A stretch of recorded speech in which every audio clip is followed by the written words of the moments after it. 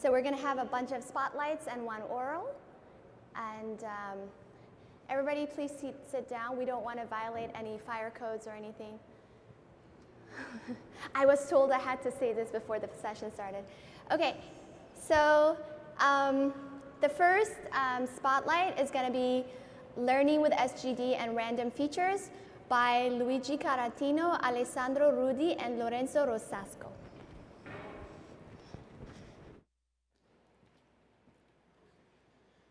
Okay, so hi everybody. I'm Luigi Carratino, and uh, this is going to be a joint work with uh, Alessandro Rudi and Lorenzo Rosasco. Um, we're going to be dealing with a classical supervised learning problem where uh, given a set of endpoints x and y's, what I want is to learn a nonlinear function f, which is, for example, defined by a linear combination on some uh, nonlinear features.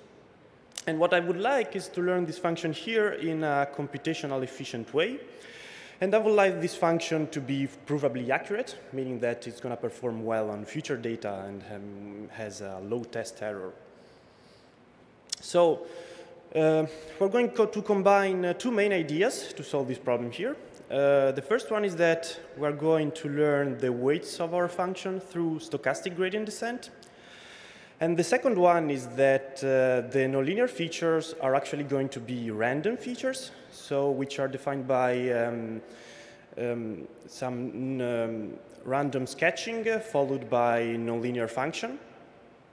And um, the algorithm that we are actually going to consider uh, is stochastic gradient descent uh, with mini-batching, which means that we're not going to consider only uh, each iteration the gradient with respect to one point, but with respect to a batch of point B. I also want you to notice that we are not using any explicit regularization terms for this iterative method here. And uh, another thing that you see is that we have a few free parameters, which are the step size, the batch size, the number of random features, and the number of iterations that we are going to run our algorithm.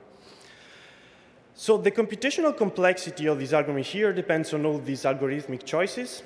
And uh, so the question that follows is, uh, so how do we choose this parameter here in order to reach a, a low test error?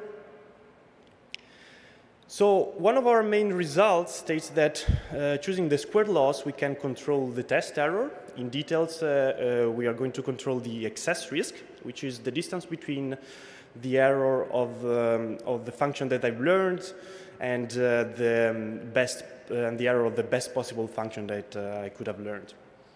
So I can control this quantity uh, with, um, with, some, um, with, with, a value that depends on uh, all the parameters of the algorithm, so the step size, the batch size, the number of random features, and the number of iterations. So what I see is that all these algorithmic choices play somehow uh, an implicit regularization role and um, so now what, I'm, uh, what I would like is to find uh, some good values of these parameters here that allows us to reach the best possible learning rates. And uh, in this work, we give um, a sort of receipt of uh, different possible choices for these parameters here. So I'm now going to give you a couple of them. So first, I'm, uh, I'm going to start telling you that under the just some basic assumption, I know that I can reach a learning rate of 1 over square root of n. And uh, the first thing that I want you to notice is that if we consider just a vanilla stochastic gradient descent uh, one pass, I can take a step size of 1 over square root of n. And um, I'm just going to need a number of random features which are of the order of square root of n, which is much lower with respect to some uh, previous results.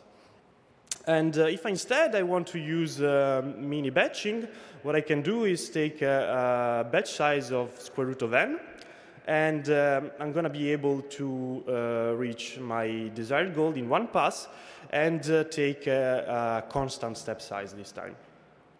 So now my algorithm has a computational complexity of n square root of n in time and square root of n in space. And I want you to notice that these are um, both um, these values are both uh, factor square root of n better with respect to stochastic gradient descent without random features or random features but in a different uh, setting like uh, regularized kernel ridge regression.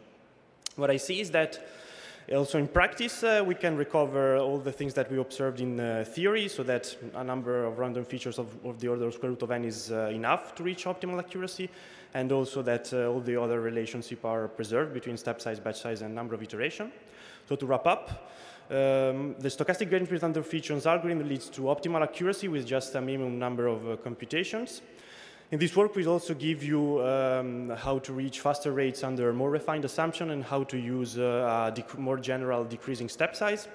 And uh, if you have question and wants to know more on how to choose uh, the parameter uh, the best way for other scenarios like uh, multiple pass cases, just pass by poster 1 to 7. Thank you.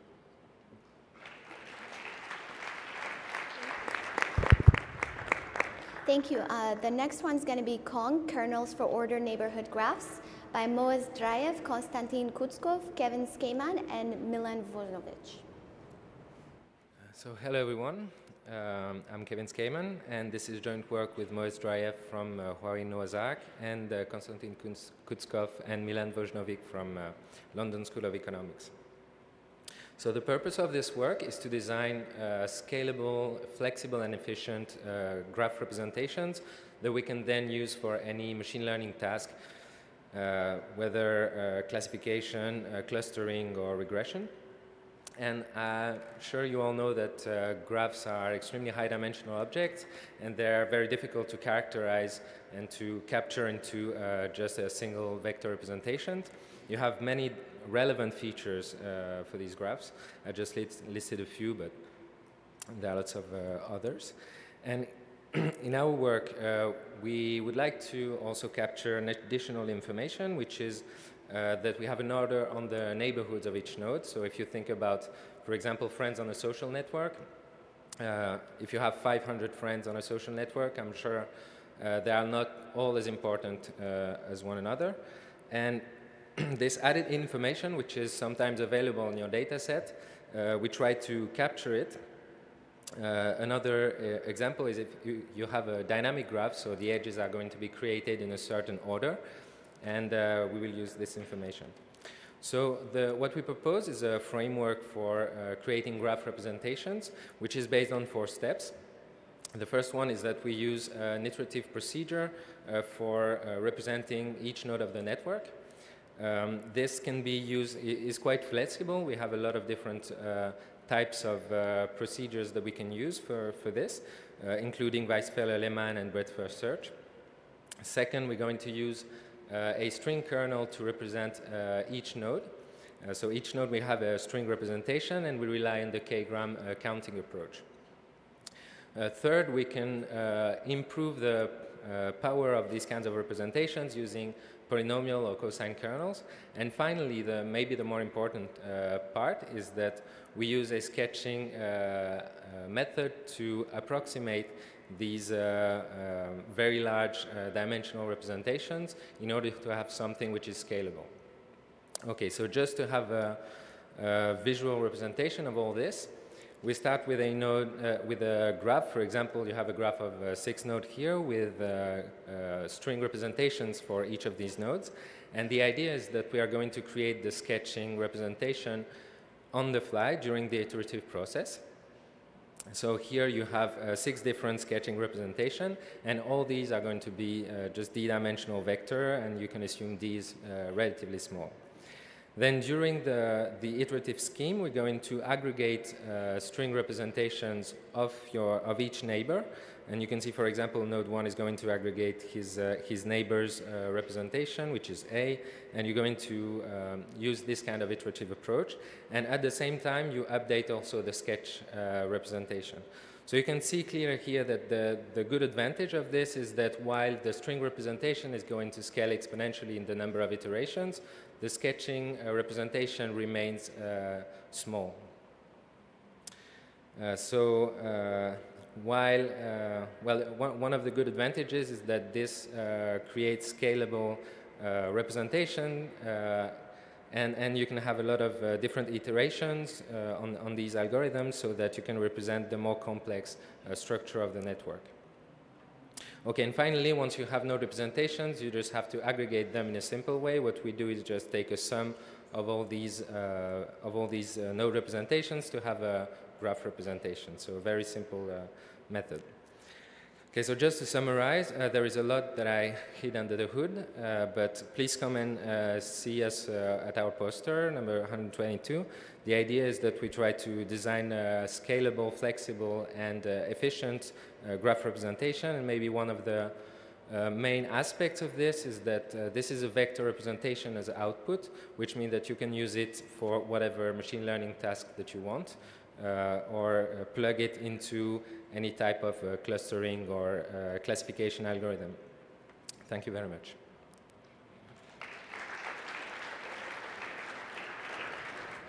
Our next spotlight is quadrature-based features for kernel approximation by Marina Munkhoeva, Yermek Kapushev, Evgeny Burnaev, and Ivan Oseledets.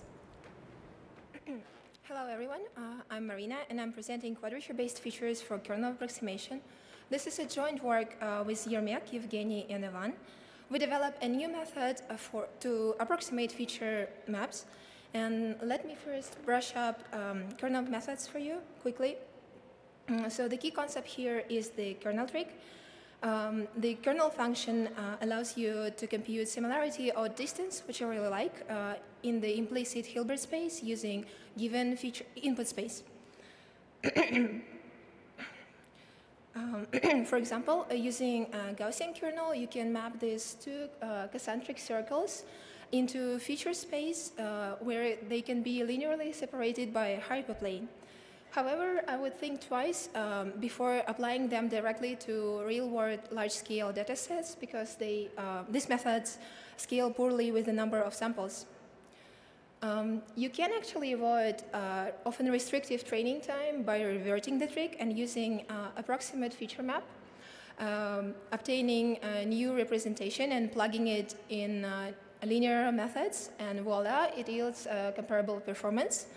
Um, but how do we generate approximate uh, mappings? Uh, popular random features methods uh, use integral representation of the kernel. In our work, we consider kernels with Gaussian weight, and uh, among such kernels, there are shift invariant and pointwise nonlinear Gaussian kernels. Um, random Fourier features mapping uh, uses a transformation of nonlinear uh, functions like sine and sine stacked on top of a random uh, linear one. And it is easy to see that uh, random Fourier features are equivalent to Monte Carlo approximation of the integral.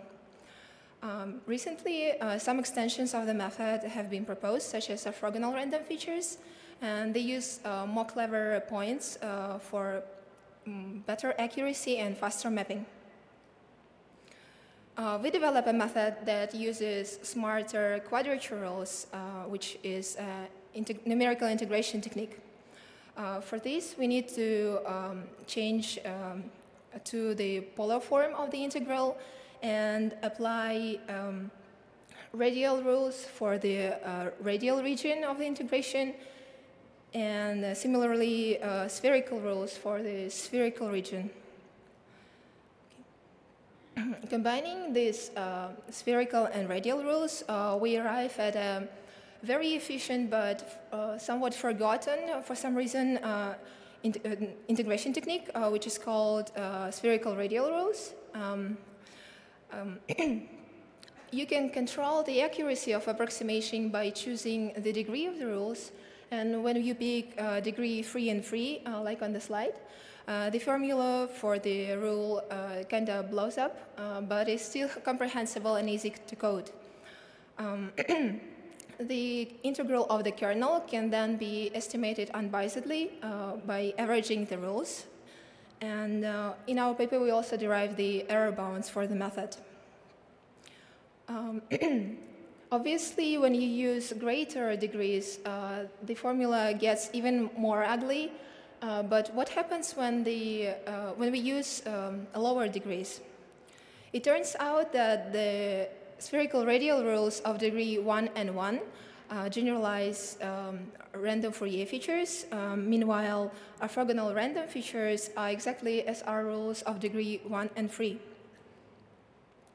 We can also uh, make the mapping faster with orthogonal uh, butterfly matrices, which are dense, but they have nice and sparse structure in their factors.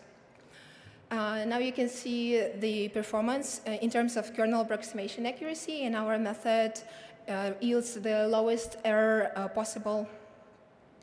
In short, our method um, is applicable to a wide range of kernels, uses structured matrices, achieves high accuracy, and generalizes previous work.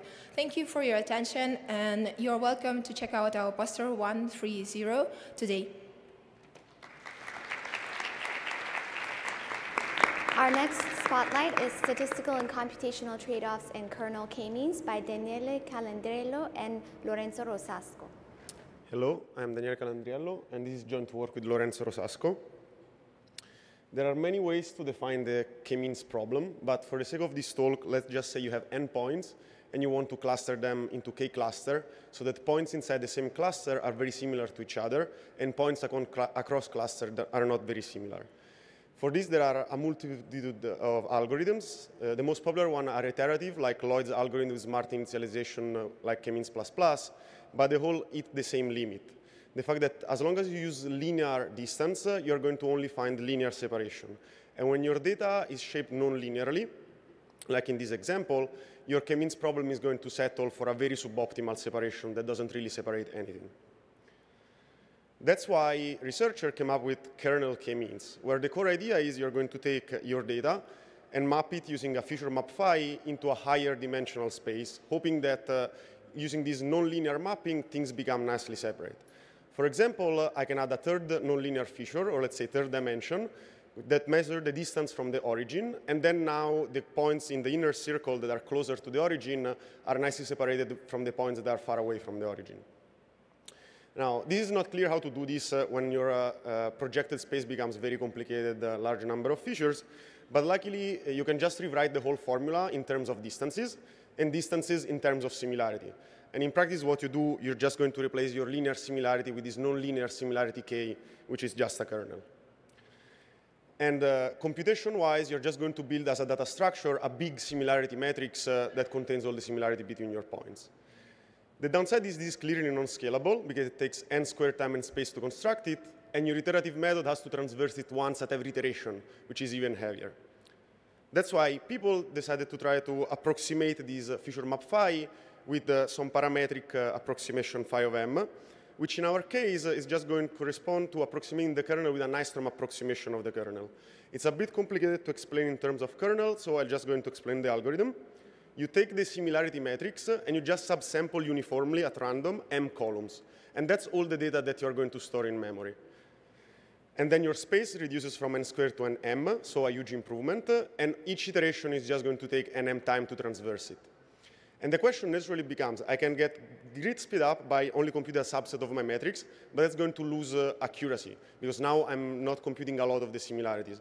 So how big should I take this uniform subset to maintain accuracy and get a good solution. And to ask ourselves this question, uh, we have to look also at the statistical upset, uh, aspects of the problem, not only at the computational. And to talk about statistics, we first have to add some assumption. We say our points are going to come from a distribution mu, so that we can design a test error, which is the thing that we really want to minimize. Because while we find the optimum on an empirical error, we would like uh, our cluster to well separate the data also in expectation on future data. And our main result is to show that this test error is going to be controlled by two quantities. The first one scales like 1 over square root of n, and it's a statistical error that comes from the fact that you're minimizing the cost function over a bunch of points instead of over the whole distribution. And it's kind of a lower bound of what you can achieve. And the second one, which is the interesting new part, is that your error when you use only m uh, columns instead of the whole matrix is going to scale like 1 over m. And it's easy to see that you can balance these two errors by say, only selecting a small subset of your matrix, only square root of n columns, and still obtain optimal rate. This gives you a huge speed up. Essentially, you go from n squared to n square root of n space and time, but you maintain essentially the same statistical error. And is also a huge improvement over previous bound that essentially required uh, the number of columns to be all of the metrics. And of course, people were doing this in practice for a long time, and they already saw that uh, after, uh, when you plot test error over your embedding size beyond a certain uh, amount of uh, columns kept, you had no real improvement. It's just that now we know where that point is. So to wrap it up, uh, we have improved the bounds uh, for the statistical versus computational trade-off in k-means and kernel k-means. Note that this applies also for traditional k-means where uh, the number of your dimensions in your Euclidean space are larger than your dataset. Think RMI in, in medicine. And it's also the first result uh, uh, where you can probably show that you can save computation without losing accuracy. The result I showed you are for the true minimizer of the k-means problem, but we have similar result for the k-means plus plus minimizer, which can be computed efficiently. And we also have a bunch of conjecture and open question. For example, if you can achieve a fast rate, which can be done from the approximation point of view, but there are no statistical results for fast rate for k-means currently. So if you have any suggestion on how to do this, I would welcome you at my poster. Thank you.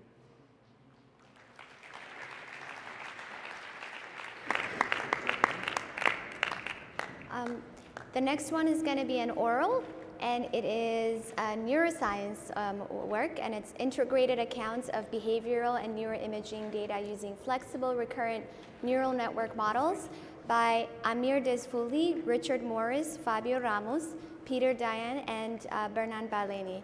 And I believe Amir is the one uh, presenting. So you'll have, we'll have about two minutes of questions at the end. So prepare questions to ask.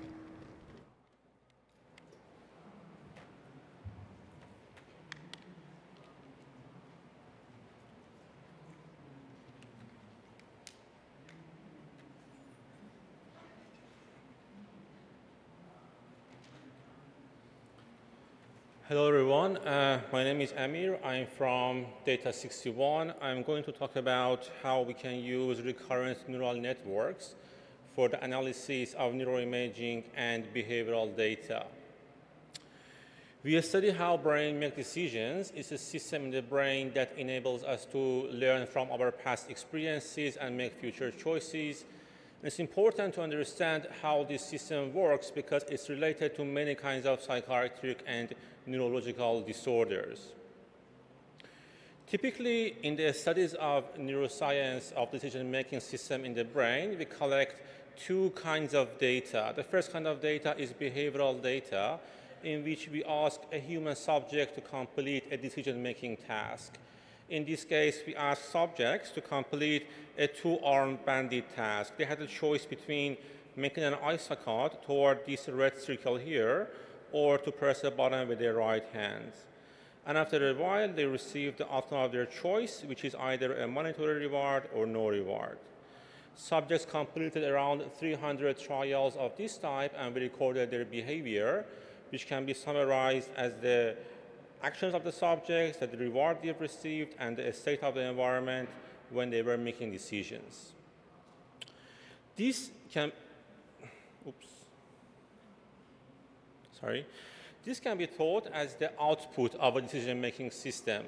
At the same time that subjects were making choices, we also recorded their brain activities using an MRI scanner. MRI scanner takes 3D images of the brain at regular intervals, for example, every three seconds or every one TR shown here. And each image represents the activity of each voxel in the brain at the time of image acquisition. Voxels are shown by squares in this graph, and if we put all the images together, we will get a time series for the activity of each voxel of the brain during decision making. So the neural data can be summarized as the activity of each voxel at each point in time for each subject. Given these two sources of information, one of them is about the output of a decision-making system, and the other one is about the mechanism. We want to have a computational model that can explain subjects' behavior using the same mechanism that the brain is using for making choices.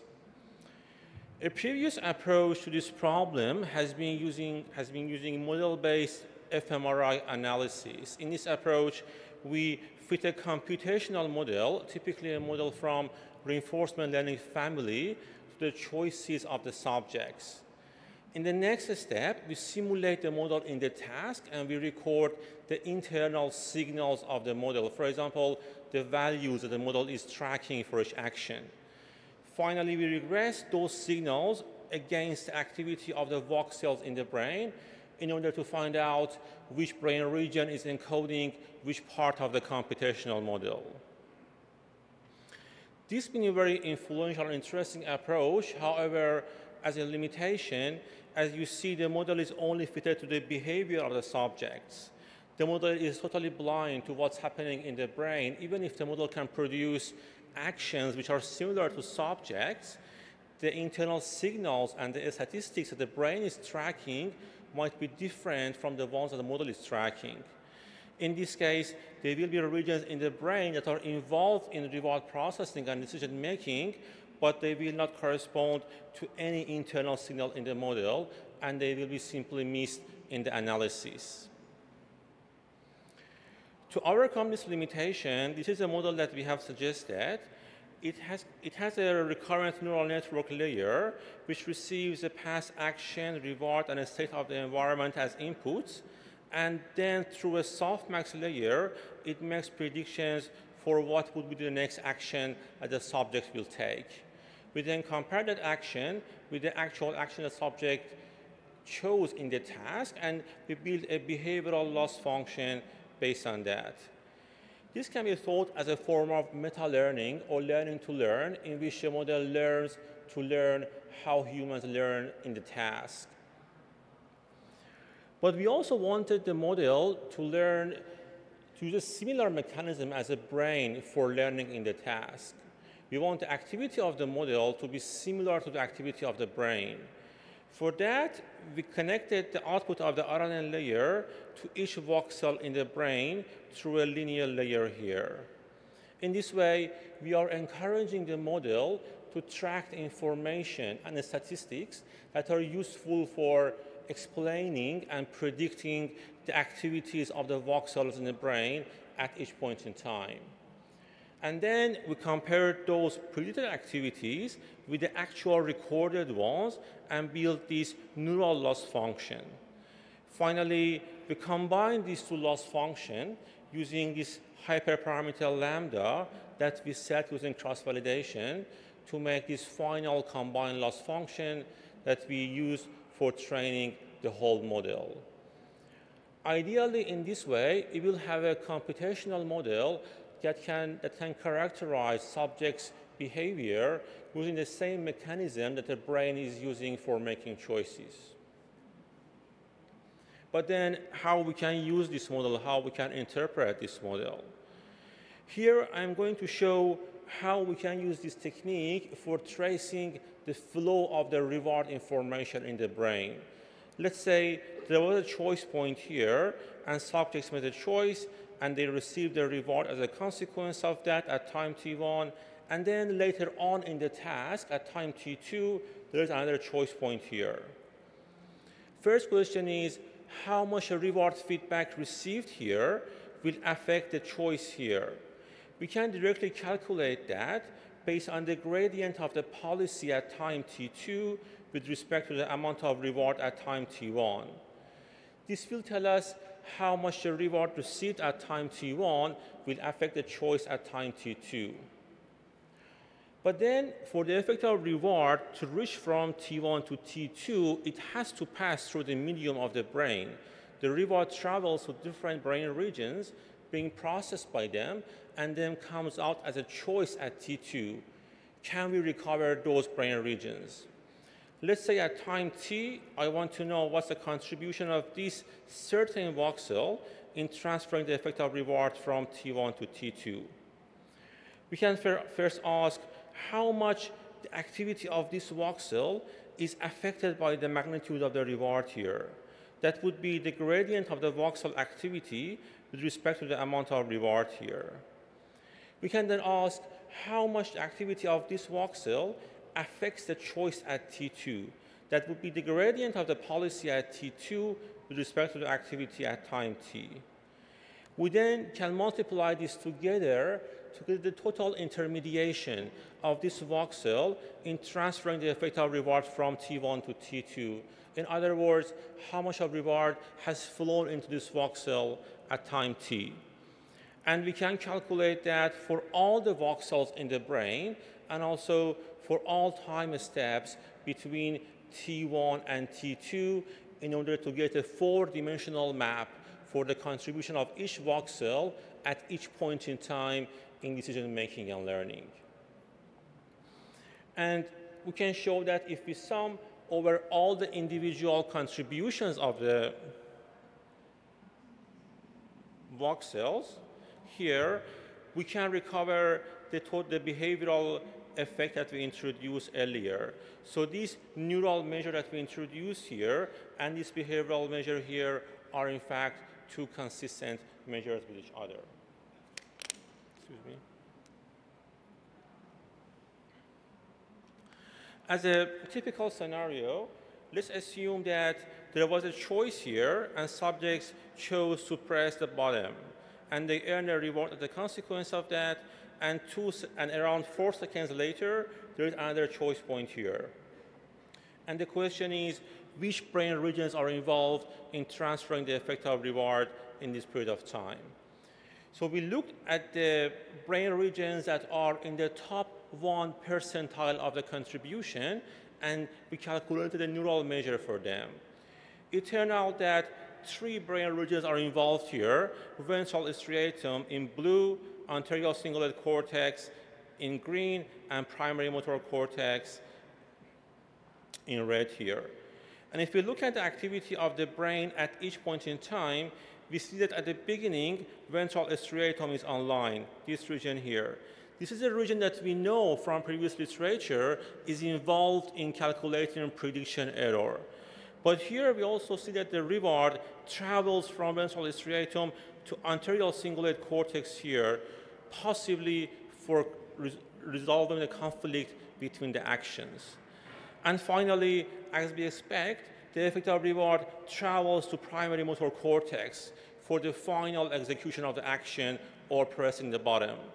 So in this way, we can recover which, which brain regions are involved in decision making, and also we can recover the temporal pattern of engagement at each point in time in reward processing. Just to summarize, we provided an end-to-end -end framework for analysis of decision-making circuitry in the brain. And uh, for the next step, we believe that this kind of technique can open new doors into better understanding of the role of decision-making in different kinds of psychiatric disorders, and we are going to work more on data sets that involve patients with different kind of psychotic disorders.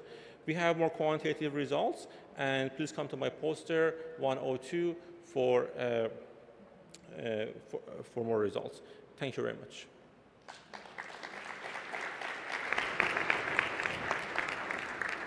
So we have a couple of minutes for questions. If you have questions, please go to the mic and ask them. If not, then I have a couple of questions. Uh, yeah, I had a quick question. Hello? Yeah, we, I think we can hear you. Uh, yeah, that was a really fascinating talk. I was curious though, why did the striatum start low and then increase over time? It, shouldn't it actually be the opposite? Yes, very, very good question. So you see here, uh, on one side we have the probability of the hand movement, and on, side, on one side we have the probability of the isocard. Because the chosen action was a hand movement, we expect to get a negative effect at the end, and this is why the striatum started to be negative from the beginning. If the chosen action was an Isocard, it would start from the positive at the beginning. This is an arbitrary choice that we made to represent hand movement on the negative and the Isocard as a positive effect. Thank you. Hi, you said that you were going to do some work, uh, perhaps in the future, on uh, different, like uh, people with different psychological disorders, Yeah. uh, see how their decision making has changed. Are you planning on doing things with other, uh, if when people are impaired, their decision making is impaired by other things such as alcohol or other drugs? Are you going to do any research in that area? Uh, yes, pr- uh, probably. Uh, currently, we don't have readily the data sets in the area of alcohol and drug abuse, uh, but we have data sets for uh, borderline personality disorder, depression, and bipolar disorders. That probably will be our focus for the next step. Okay, thank you. Thank you. Um, is it possible that there are some regions of the brain that are important in the next decision, but um, have sort of saturated, so they're no longer sensitive to small changes in the reward? Did you consider, like, you think that's possible, and would using something other than a gradient uh, maybe make sense there? It's a very good question. Very good question. Uh, we haven't considered that, but it's a possibility, and I think it would be very interesting to look at other techniques for interpreting networks that are not sensitive to these kind of saturations. But we, ha- we haven't done anything yet on that, on that front. Uh, hi. The temporal resolution of fMRI is not very good. Can this framework be applied to EEG data and uh, have you done that or are you planning on doing that? Yes, exactly. Very good question. That's, that's, that's another concern here. Uh, I think the same framework can be applied to EEG with some alterations. We haven't done anything in that front yet either, but I guess it's a very good point. Since EEG has a better temporal resolution, it might be a better candidate for, for applying these kind of techniques. Yes, exactly. All right, let's thank our speaker. Thank you.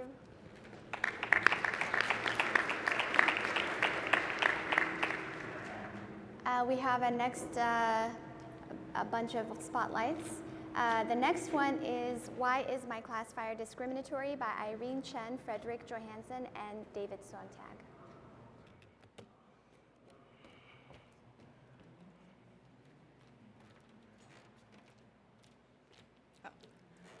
Hello, everyone. My name is Irene, and as Timnit mentioned, this is work done jointly with Fredrik Johansson and David Sontag.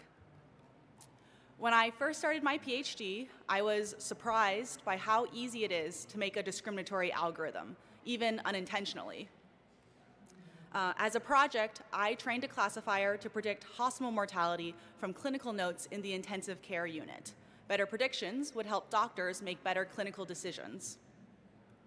Imagine my surprise then when my model showed different errors for different racial groups, with especially high errors for Asians.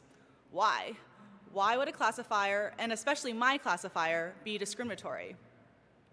This paper seeks to answer that question. We analyze sources of unfairness by decomposing into bias, variance, and noise. We also demonstrate the effectiveness of, of methods to guide feature augmentation and data collection. There has been considerable work in the area of classification fairness recently, mainly focused on the model, using techniques like regularization or representation learning. But the data can also impact the classification fairness. Factors like sample size or features can impact the accuracy and therefore the fairness of the model. We argue for real world applications, both the training data and the model should be considered. So, why might a classifier? What are some reasons that a classifier might be unfair? Consider these data points. We have orange dots and we have blue dots, drawn from a generating data function. When we train a model, we can train one model or we can use the group variable as input and train separate models. Either way, though, notice that the orange dots are underrepresented compared to the blue dots. Therefore, any model we learn will have higher error for orange dots than blue dots.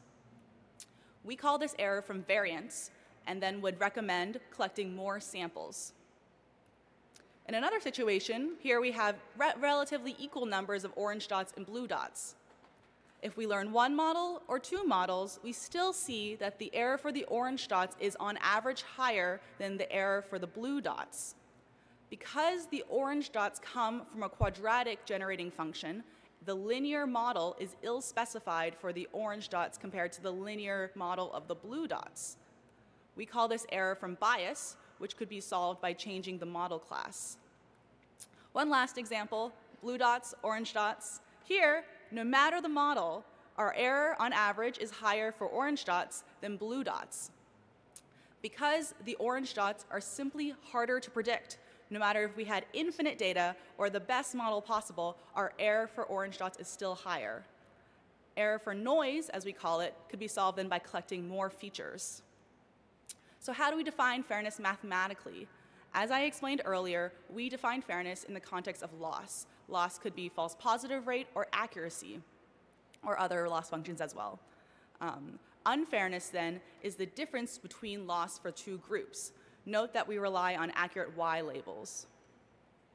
We can decompose any loss function into bias, variance, and noise, the three error terms that I outlined earlier. Unfairness, then, as the difference between loss functions, can be decomposed into the sum of the differences of bias, the differences in variance, and the differences in noise. Returning to our original example of predicting mortality from clinical notes, we are interested in how bias, variance, and noise then influence the, uh, the differences in error by racial groups. When we subsample the data to simulate how adding additional data would increase accuracy, we see that error for all groups goes down. Great. However, we also can estimate, we can fit these learning curves using inverse power laws. The inverse power laws allow us to estimate the asymptotic, uh, the asymptote. The asymptote then represents the infinite data limit, or a world where there is no variance. No variance because of the infinite data. That relieves bias and variance. To address noise, we can also use topic modeling to find subpopulations that allow us to gather features in a constructive way to reduce noise.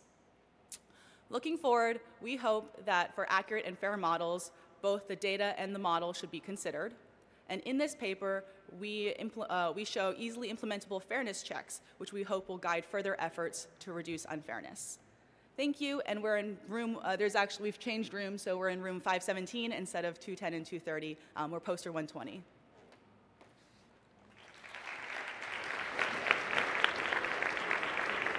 Our next spotlight is Human in the Loop Interpretability Prior by Isaac Lage, Andrew Ross, Samuel Gershman, Been Kim, and Finale Doshi-Velez.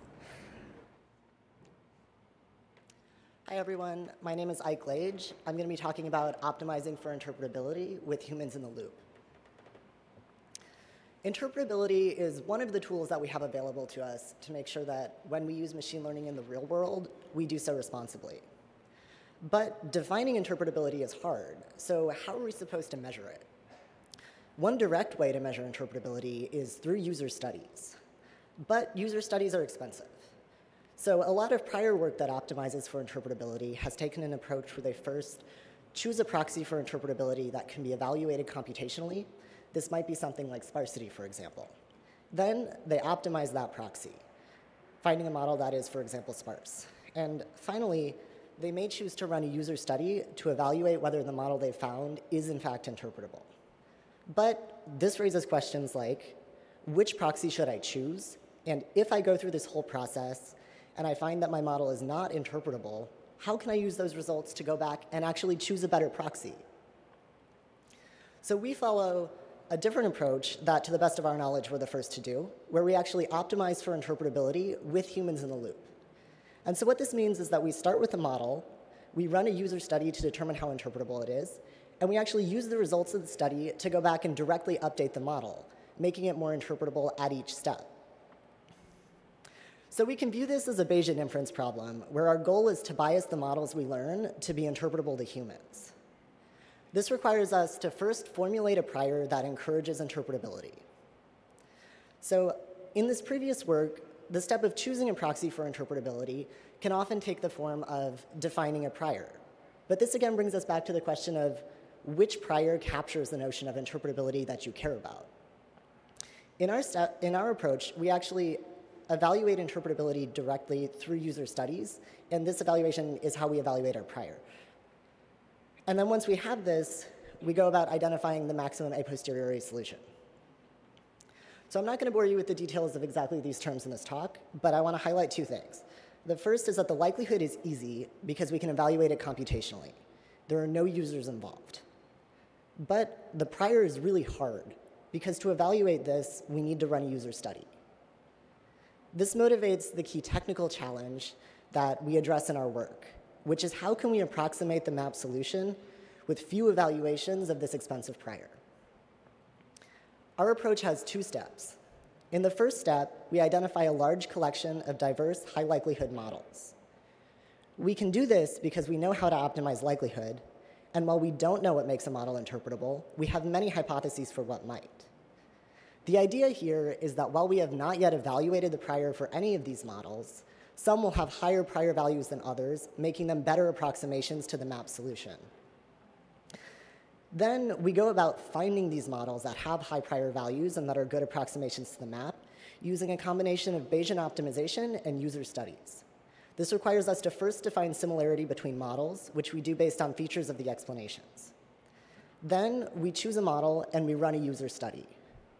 When we get the results back, we propagate them through the graph, allowing us to estimate the value of the prior in parts of the parameter space that we have not yet seen. Through these estimates, we choose the next model to evaluate. Again, propagating the results of that user study through the graph, allowing us to refine our estimates of which parts of the parameter space have high prior values. Eventually, evaluating models that do in fact have high prior values, making them good approximations to the map solution. So in this work, we present a framework for optimizing for interpretability directly using human feedback. Our approach is able to efficiently identify models that are both predictive and human interpretable. And we ran our approach on real data with real users and found that on different data sets, the map approximation it finds actually corresponds to different proxies for interpretability, suggesting that choosing your favorite interpretability proxy and optimizing it will not always be enough. For more, please come by my poster. It's number 119, and thank you for listening.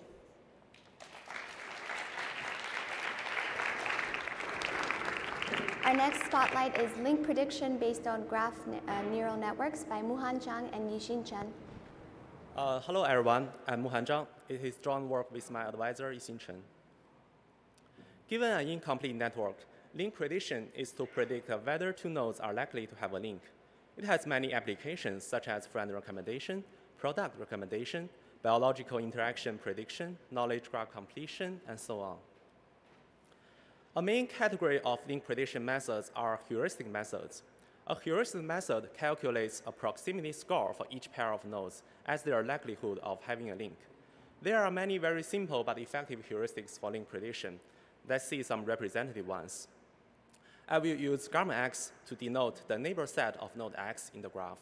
The first one, called common neighbors, predicts links by counting how many common neighbors x and y share. It is widely used in social network friend recommendation. The common neighbors heuristic is a first order heuristic because we only need to know the one hop neighbors of x and y to compute the score. The second one, preferential attachment heuristic, predicts links by the product of x and y's degrees. It assumes that x prefers to connect to y if y is popular. It's also first order. Now let's see a second order heuristic, the Adamic-Adar heuristic. Basically, it is a weighted common neighbors, where a high degree common neighbor such as node A is weighted less than a low degree common neighbor such as node B. It assumes that both X and Y connecting to A is not surprising because A also has many other connections. The AA heuristic is a second order heuristic because it involves up to two hop neighbors of X and Y. Let's see some high order heuristics. The Katz index sums all the walks between x and y, where a longer walk is discounted more than a shorter walk. It is high order because one needs to search the entire network in order to find all the walks between x and y. Another popular high-order heuristic is the rooted PageRank, which uses the stationary distribution at node y of a random walker who randomly returns to node x as the likelihood of link xy. It is also high-order heuristic. So generally speaking, high-order heuristics have uh, better performance than first and second-order heuristics. Despite the success of heuristic methods, there are several drawbacks. Firstly, heuristic scores are handcrafted graph structure features. They are not able to capture the general graph structure features that might be useful for link prediction. Secondly, uh, heuristic methods have strong assumptions on link formation mechanisms, thus only working well on certain networks. In this paper, we propose a new link prediction framework, SEAL, which overcomes the above drawbacks by automatically learning general graph structure features based on a graph neural network. It achieves new state-of-the-art link prediction performance. Given a set of positive training links and negative training links, illustrated as link AB and CD in this figure, SEAL extracts a local neighborhood subgraph enclosing each training link. The local subgraph is then fed to a graph neural network to train a graph classification model. So why is classifying these subgraphs able to make link predictions? As we can see, if the subgraphs are large enough, we can, uh, we can accurately calculate all the first order and second order heuristics based merely on these subgraphs. Using a graph neural network, SEAL tries to learn such suitable heuristics. But the learned features are general. It does not rely on any predefined heuristics. But how about high-order heuristics? We know that high-order heuristics often have better performance at the cost of requiring the entire network. Does this mean that we need to extract the entire network in order to learn high-order heuristics? The answer is no we developed a gamma decaying heuristic theory to support it. Our main results are as follows. We proved that a wide range of high-order heuristics can be unified into a single gamma decaying heuristic framework, including the Katz index, rooted PageRank, SIMRank, etc. This means that they intrinsically share the same form. We also proved that under mild assumptions, all gamma decaying heuristics can be well approximated from local enclosing subgraphs, and the approximation error decreases exponentially. This means that we don't need uh, the entire network to learn high-order heuristics, but often a small subgraph is enough. See you at poster number 121. The location on the slide is not correct. It will be in room 517 AB. Thank you.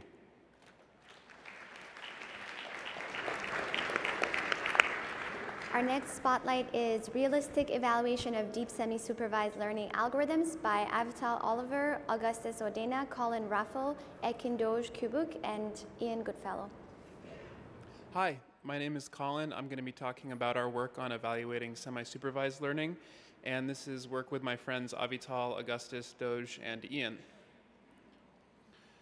So what should we do when we're training a classifier, but we only have a few labels? Is this a good decision boundary between the two classes? Or maybe this one? Or how about this one? Now, what if we also have access to unlabeled data? Semi-supervised learning methods leverage unlabeled data to learn a better classifier. These approaches have recently had a series of successes in performing reliable classification even when labeled data is scarce. Typically, these models are evaluated like so. First, we take a common labeled data set like MNIST, and we treat most of the data points as unlabeled. Then we train one classifier on only the labeled data and another classifier using the labeled and unlabeled data using semi-supervised learning. The semi-supervised learning technique is effective if it achieves higher accuracy than the fully supervised baseline. In our paper, we argue that this method of benchmarking fails to reflect many real-world settings. As a first step, we re-implemented various state-of-the-art semi-supervised learning algorithms and tested them on CIFAR 10 with 4,000 labels and SVHN with 1,000 labels. Variability in the underlying model and other implementation details can prevent direct comparison between different methods, so we created a unified framework for all of the algorithms. We used 1,000 rounds of automatic hyperparameter tuning for every method, including the fully supervised baseline. The first thing we noticed was that the gap between semi-supervised learning methods and the corresponding fully supervised baseline was smaller than generally reported. This is likely because we used the same budget for hyperparameter tuning for the semi-supervised learning methods and the baseline. Another baseline to compare semi-supervised learning against is transfer learning, which can obtain good performance on small labeled data sets by pre-training a model on a large related data set. This baseline is missing in most semi-supervised learning papers we found that basic transfer learning from ImageNet to CIFAR 10 outperformed the best semi-supervised learning method we studied, even when we removed the classes from ImageNet, which were similar to CIFAR 10 classes. Many papers only report semi-supervised learning results for one particular amount of labeled data. We evaluated each approach with varying amounts of labeled data and found a surprising variability in the performance of each method based on the number of labels available. Another issue with the way these algorithms are typically evaluated is that treating part of the labeled dataset as unlabeled results in a perfect matching between the classes in the labeled and unlabeled data. In some real-world scenarios, we can't guarantee that the labeled data has the exact same classes as the unlabeled data. To simulate this, we varied the amount of mismatch between classes in the labeled and unlabeled data and found the surprising result that performance of semi-supervised learning algorithms can actually become worse than the fully supervised baseline when there is class mismatch. As a final example, a common and particularly unusual practice is to continue using the standard validation set for a given dataset even after discarding most of the labels in the training set. This can result in the validation set being many times larger than the number of labels in the training set. To test how much this actually matters, we computed the variance and validation error for different methods across different validation set sizes and found that for realistically small validation sets, it would be infeasible to reliably compare the performance of two methods or hyperparameter settings. Further discussion of these results and additional observations are available in our paper. We've released all of the code used in all of the experiments at the GitHub repository shown on the screen. If you have any questions or want to learn more, come see our poster number 95, all the way in the back of the room, at the poster session starting in about five minutes. Thank you.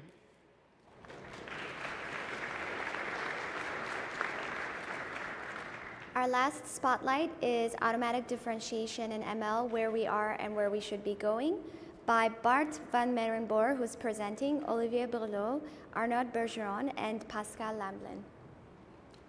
Hello, everyone. Uh, my name is Bart, and I'm going to be presenting some of our recent work on automatic differentiation for machine learning frameworks. Um, so our paper kind of has two parts to it. So we begin with a review of um, the way automatic differentiation is implemented in current day machine learning frameworks. And we take different perspectives such as systems programming, compiler design, programming languages, and of course, automatic differentiation theory. We argue that automatic differentiation affects the design choices in each of these different areas so that any machine, machine learning framework should be implemented from the ground up with automatic differentiation in mind. With this in mind, we propose a new prototype uh, framework called Myia, which implements automatic differentiation in a different way than it's commonly done in machine learning frameworks. So to quickly review, um, there's two kind of current paradigms in machine learning frameworks that most people will be familiar with. On the left-hand side, we have a code snippet of TensorFlow. TensorFlow is a data flow programming framework, so it expects the user to audit, like to explicitly construct a data flow graph. Automatic differentiation is then expressed as a graph transformation, like transformation of this graph, which is then executed in a custom runtime. On the right-hand side, we have an example of a framework called AutoGrad. AutoGrad uses a technique called operator overloading. This means that it executes a plain Python function, but all the numerical operations are overloaded so that they are tracked and stored on a tape. And at the end of the execution of the function, the derivative can be calculated by walking this tape in reverse. Now, these two frameworks have a very different set of advantages and disadvantages. For operator overloading, um, there's significant runtime overhead in some cases because at runtime, each numerical operation has to be traced, has to be stored on a tape, And at the end of the execution, this tape needs to, is this data structure that needs to be walked in reverse. This needs to happen each time the function is executed. On the other hand, for data flow programming frameworks, all of this is done ahead of time, which means that there's no runtime overhead. Um, in operator overloading frameworks, we bind ourselves to the host language, so in this case, Python. This can be problematic if the host language is relatively slow, as is the case in Python, and doesn't allow for a lot of optimization. On the other hand, if we have a data flow programming paradigm like TensorFlow, there's a custom runtime and a custom compiler which can very aggressively compile and optimize our numerical code. The big advantages, though, of operator overloading are that the end user can write plain Python as opposed to explicitly constructing this computation graph. This is a lot more user-friendly. On the other hand, because the user is writing plain Python and operator overloading only cares about tracing the numerical operations, it means that they can use all the features available to them in the host language. So think about things like object-oriented programming, higher order functions, recursion, etc. None of this, these things aren't necessarily available in a data flow programming paradigm because the user is limited to the operators that are implemented in this data flow graph, and those are normally far fewer than available in a general programming language. In Myia, we take a different approach to implementing automatic differentiation directly into the compiler. This means that it represents an entirely different set of trade-offs, which we think kind of combines the best of both worlds. Myia parses a subset of Python code into a newly designed graph-based compiler representation, which is based on a normal form that's commonly used in functional languages. It then applies automatic differentiation on this graph-based representation by constructing a series of closures instead of using a tape.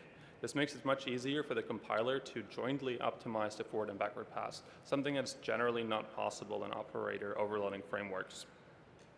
This graph representation, though, is far more like is far more um, functional than the common data flow programming graphs in a sense that it can represent recursion, it can represent higher order functions, and it can represent closures, none of which are usually possible in the data flow frameworks that we use. Please come see us at our poster, uh, number 94 in room 210 to talk more about automatic differentiation for machine learning frameworks, and thank you for listening.